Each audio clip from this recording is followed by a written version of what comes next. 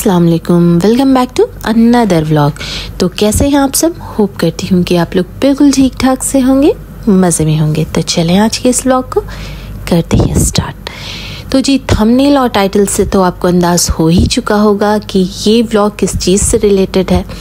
तो यहाँ बताती चलूँ आपको कि ये सारा व्लॉग ईवान और ईवान की हेल्थ से रिलेटेड है। तो चलें व्लॉग को आगे कंटिन्यू करती हूँ। तो जी ईवान जब हुआ तो वो बहुत छोटा था और उसी टाइम यहाँ हॉस्पिटल में बताया गया था कि इससे टंग टाई का प्रॉब्लम है। आप जल्दी से इसका ऑपरेट करवा लीजिएगा। तो उस टाइम तो कुछ ऐसा दिखा भी नहीं और डॉक्टर से कंसल्ट करने पे पता चला कि जब बड़ा होगा तब वो चीज़ पता चलेगी। तो मेन बेसिकली टंग टाई होता क्या है? ये आपको मैं यहाँ पे बताती चलूँ, ज़रा क्लियर करती चलूँ। टंग टाई वो होती है जहाँ बच्चे थोड़ा अल्लाह की तरफ़ से ये देन होती है। ज़बान का जो निचला हिस्सा होता है, जो हल्की सी एक झिल्ली जैसी रहती है, वो थोड़ी ज्वाइंट रहती है। तो जिसकी वजह से अमूमन बच्चे तो तला के बात करते हैं या काफ़ी लेट से बात करना शुरू करते हैं। तो यहाँ जिस जगह में हम लोग रह रहे हैं, अल्हम्दुलिल्लाह तो यहाँ पैदा होते ही ये सब चीज़ें पता चल जाती हैं। और जहाँ ईवान हुआ था कॉर्निश हॉस्पिटल में, वहाँ तो इन सब चीज़ों का काफ़ी ध्यान रखा जाता है। तो वहीं हम लोगों को पता चला कि इसे टंग टाई है तो इसके बड़े होने का वेट करते फिर इसने धीरे धीरे बोलना कम धीरे धीरे जो था, वो काफ़ी लेट से बोलना शुरू किया। और बोलता भी था तो कुछ कुछ चीज़ों को बिल्कुल साफ़ नहीं बोल पाता था, प्रॉपर बोल नहीं पाता था। तो फिर ये हम लोगों ने सोचा कि एक आध हॉस्पिटल में भी इसे दिखाया, दिखाने के बाद फिर लास्ट हम लोग ने ये डिसाइड किया कि इसका ऑपरेशन जो है यहाँ लाइफ लाइन जो अबू धाबी का एक अच्छा हॉस्पिटल है, यहाँ कराया जाए। तो यहाँ काफ़ी अच्छे सर्जन वगैरह भी हैं और तो ये रमज़ान की क्लिप है। तो ये जो आप हम लोगों को, मैं आप लोगों को बताती थी अपनी यूट्यूब फैमिली को कि कुछ ऐसी चीज़ें हैं जो हम, मैं जाती हूँ, लेकिन इन आगे शेयर करूँगी। तो ये वही बात थी। तो अल्हम्दुलिल्लाह अभी ईवान बिल्कुल ठीक है और काफ़ी कुछ बोलने लगा है। तो आगे आपको दिखाते हैं।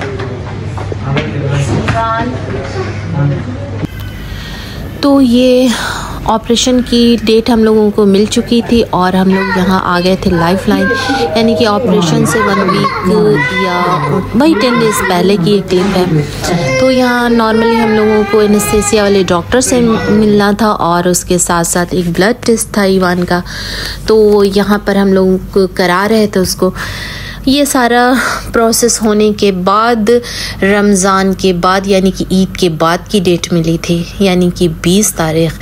20 अप्रैल ज़िंदगी में हमेशा याद रहेगी, उस दिन की कैफियत भी कुछ और थी।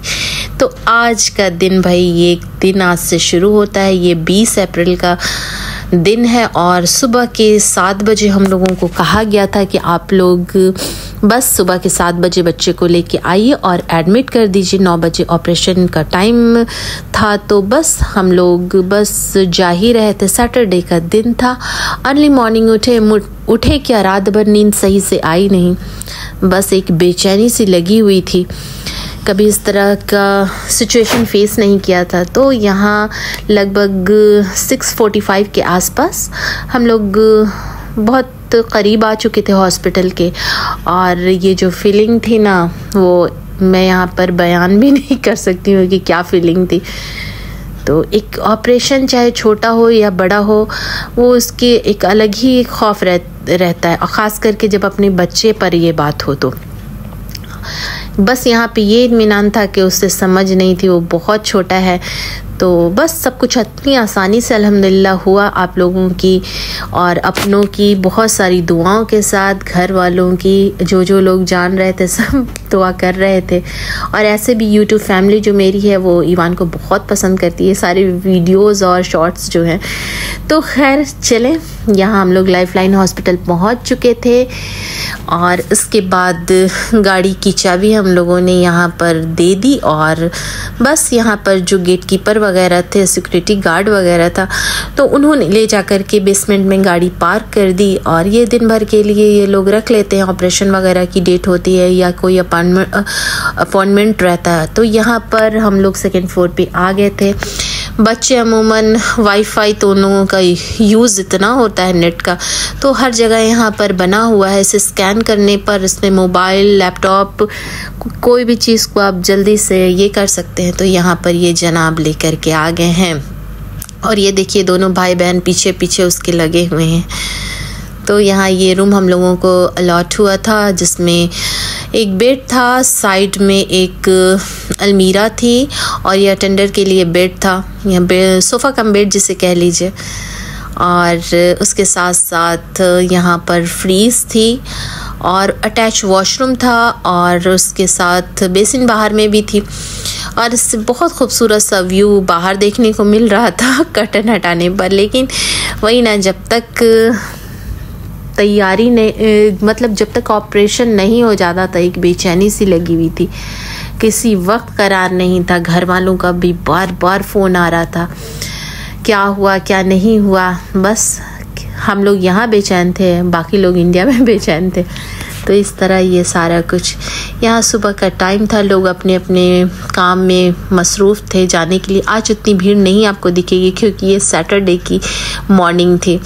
बस सबको ये हम लोग भी इंतज़ार कर रहे थे। सिस्टर फिर आती है और आने के बाद ड्रेस दे के चली जाती है। तैयार करने के लिए तो ईवान मियाँ को यहाँ पर ऑपरेशन की ये ड्रेस पहना दी गई थी और वो काफ़ी अनकंफर्टेबल हो रहा था। तो उसको बहलाया जा रहा था कि नहीं, पहन के रखो। उसके साथ साथ उसको डाइपर भी पहनाया गया था। तो अमूमन इसने डाइपर बिल्कुल छोड़ दिया है। समझिए कि एक साल से, एक डेढ़ साल से इसने बिल्कुल डाइपर पहनना छोड़ दिया है। वॉशरूम जाता है, बताता है। लेकिन इसको बिल्कुल बेचैनी लगी हुई थी। यहाँ पे देख सकते हैं आप किस किस तरह की हरकत कर रहा है। तो बस इसी तरह, और जो टाइम था वो बहुत तेज, तेज़ी से गुज़र रहा था। और यहाँ पर है कि बस टाइम हो ही गया और इनके अब्बा लेकर के इनको गोद में गए। तो पीछे पीछे मैंने थोड़ी सी क्लिप यहाँ की आगे हिम्मत नहीं हुई। ऑपरेशन रूम के बिल्कुल इसके भी अंदर हम लोग थे। और यहाँ पे ऑपरेशन अल्हम्दुलिल्लाह हो गया। होने के बाद इसे बाहर में एन में रखा गया, जहाँ हमने और हस्बैंड ने दोनों ने जाके देखा। बेहोशी का आलम था और होश नहीं आया था। अब जब इसे होश आ गया, काफ़ी देर के बाद, दो घंटे के बाद जब होश आ रहा था तो सिस्टर्स ने इसे ले करके रूम में शिफ्ट किया। अब यहाँ से आप लोग देखिए।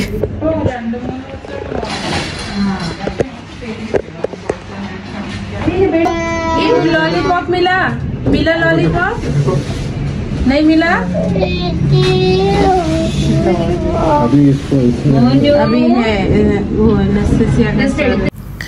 तो यहाँ पर आ चुका था ब्रेकफास्ट जो कि ईवान मियाँ का था। तो उसके साथ साथ दलिया था, जूस था, ब्रेड था जैम बटर था, अमूमन नॉर्मल चीज़ें थी। तो सिस्टर बता के गई थी कि सबसे पहले जूस और पानी से हल्का हल्का शुरू करें इसे सॉफ्ट डाइट पर। फिर धीरे धीरे जब इसलिए कि एनेस्थेसिया दिया हुआ था तो वोमिटिंग का भी डर था। काफ़ी रो रहा था, फिर सो जा रहा था तो ये कैफियत काफ़ी देर तक चली।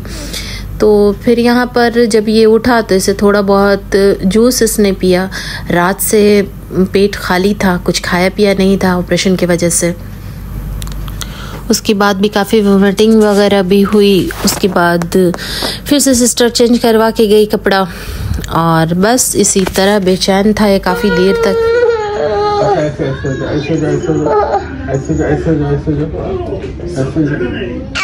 अच्छा ठीक है हो गया हो गया हो हो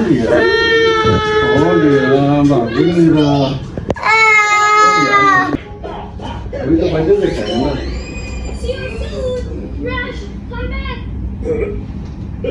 नहीं होता तो बेड पे लेटा दीजिए उसको रह रहे होश आ रहा है फिर ये हो रहा है उसके बाद ये दोपहर के खाने की क्लिप है, यानी लंच की। तो लंच में यहाँ दो तरह का खाना था, ईवान का अलग था और उसके साथ यहाँ जब छोटे बच्चों का ऑपरेशन वगैरह होता है या बच्चे एडमिट रहते हैं तो उनके साथ साथ उनकी अम्मा का भी खाना आता है, यानी कि माओ का, हम लोगों का। तो बच्चे के लिए तो खैर खिचड़ी थी और दलिया था और उनकी अम्मा के लिए यानी मेरे लिए दाल थी, सब्ज़ी थी, रोटी थी, यही सब। तो यहाँ हस्बैंड इसको लेके बैठे हुए फिर से इसने खाने में इसने इतना लेट किया कि जिसकी वजह से काफ़ी लेट हो गया हम लोगों को। जब तक इसने खाना नहीं खाया, तब तक हम लोगों को डिस्चार्ज नहीं मिला। तो यानी कि खाना खाने के बाद पूरा पूरे तौर से ये नॉर्मल हो गया, तब शाम तक हम लोगों को डिस्चार्ज मिला। घर जाते जाते मगरिब लगभग हो ही चुकी थी। तो यहाँ मैं आ गई थी घर पे और फिर मैंने बनाई खिचड़ी। इसलिए कि बिल्कुल कुछ खा नहीं रहा था। दलिया तो किसी तरह योगर्ट के साथ मिला के मैंने दी तो दलिया उसने खाया। तो यहाँ हल्के से नमक के साथ मैंने ये, नमक और आलू के साथ मैंने खिचड़ी बनाई उसके लिए। बस ठंडा खाना देना था ट्वेंटी फोर आवर्स खाना गर्म नहीं होना चाहिए ठंडा करके। तो उसके बाद धीरे धीरे नॉर्मल रूटीन पर आ गया और अल्हम्दुलिल्लाह अब बहुत सही है और अच्छे से बात भी करने लगा है और नया नया वर्ड बोलने लगा है। तो बस आप लोगों की दुआ से सब कुछ बिल्कुल इतनी आसानी से हो गया और बिल्कुल अच्छा हुआ। तो यहाँ मेरी चाय भी बन के बिल्कुल तैयार हो चुकी थी और अपने हाथ की चाय का मज़ा ही कुछ और होता है और उसके साथ साथ खिचड़ी भी बन गई थी। तो थोड़ा सा तो ये ज़िद्दी हो गया है। ऑपरेशन के बाद रोता रहता था। चिड़चिड़, उस दिन तो पूरा दिन इसने परेशान किया और फिर खाना वगैरह खा करके सुकून से उसको फिर मैंने सुला दिया। ऑपरेशन का इतना दर्द वगैरह भी नहीं था। ट्वेंटी फोर आवर्स होने के बाद सब कुछ नॉर्मल हो गया था। तो चले, आज बस इतना ही। इनशाला नेक्स्ट व्लॉग में आपसे मुलाकात होगी जो कि एक रूटीन व्लॉग होगा। तो दुआओं में याद रखें अपनों का ख्याल रखें। इनशाला नेक्स्ट व्लॉग में मुलाकात करती हूँ। तब तक दी मुझे इजाज़त। अल्लाह हाफिज़। Take care and bye